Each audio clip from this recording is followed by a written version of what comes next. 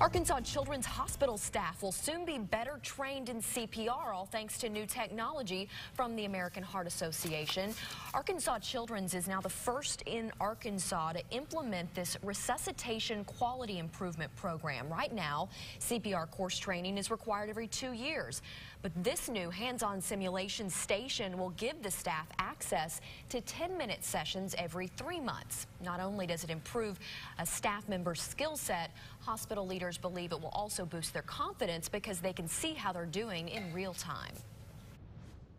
You don't have to wait and think, I wonder how I did. You know while you're doing it, you can make your corrections. Again, the muscle memory comes into play.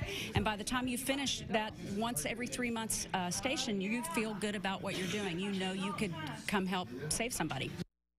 ACH plans to enroll all staff at its Little Rock and Northwest Arkansas locations over the next several months.